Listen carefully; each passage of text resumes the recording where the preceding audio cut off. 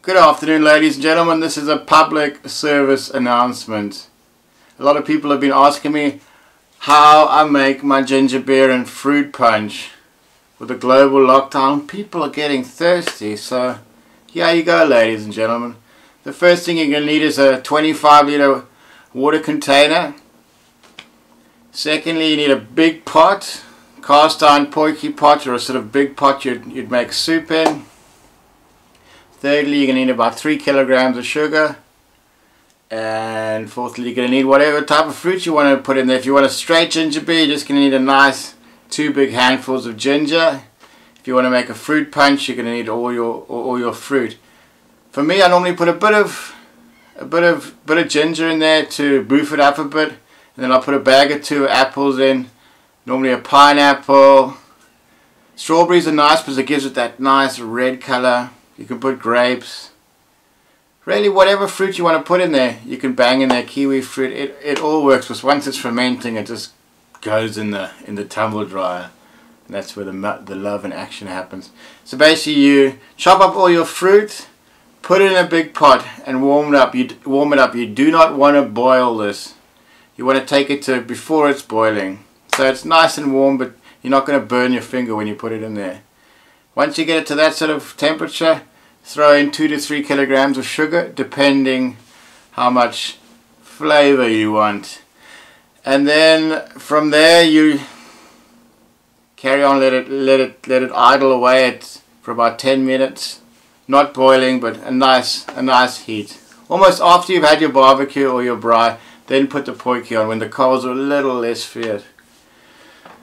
And then once all the sugar is dissolved, then you just let the potjie or the pot sit for half an hour, let it cool down, and then you add two bags of yeast from your local shop, brew, carry on stirring, and then stir some more.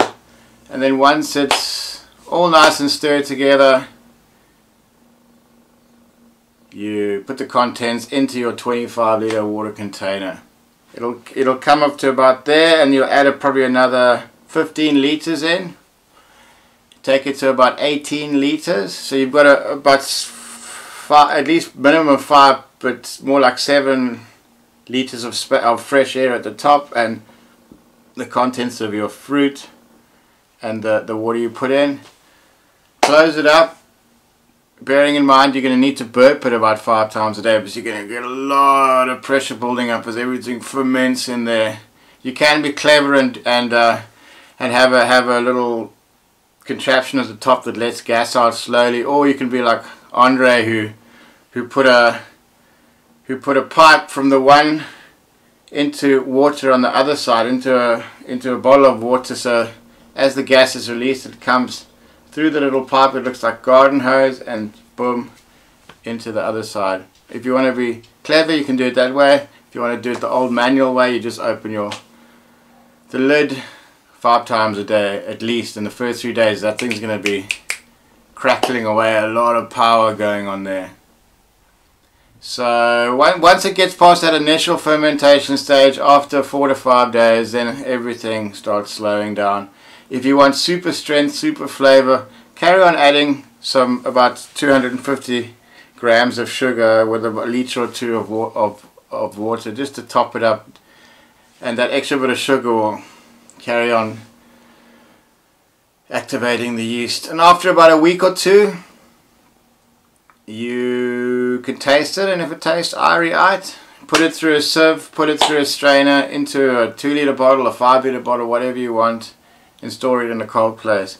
You want to ferment a, in a warm place with no direct sun but nice and warm. If it's, if it's too cold, last winter things weren't even fermenting at all. So that's basically it folks.